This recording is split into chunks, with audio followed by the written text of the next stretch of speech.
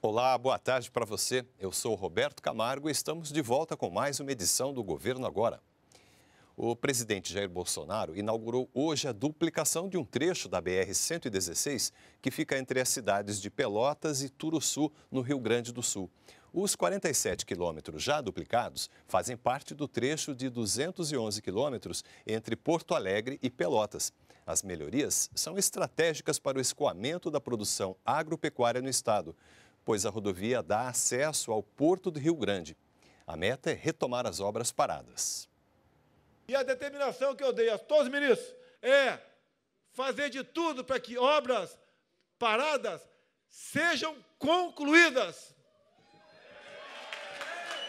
Inclusive, hoje de manhã, ainda no aeroporto lá de Brasília, na base aérea, na frente de todos os deputados e senadores que estavam lá, obviamente alguns estavam aqui, o Onix me trouxe o telefone do Paulo Guedes, nosso da Economia. E ele nos garantiu, ainda no corrente ano, mais 100 milhões de reais para concluirmos mais um trecho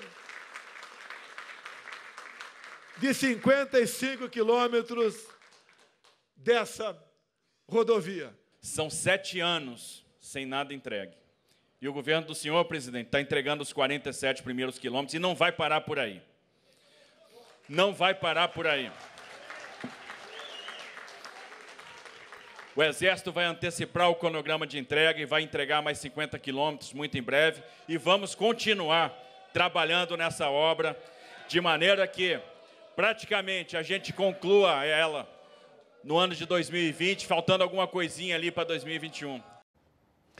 Começa hoje o prazo para a entrega da declaração do imposto sobre a propriedade territorial rural referente ao exercício de 2019. A previsão é de que sejam recebidas mais de 5 milhões de declarações. O prazo vai até 30 de setembro. Outras informações aí no site da Receita Federal. O governo agora fica por aqui. Continue nos acompanhando também pelas redes sociais.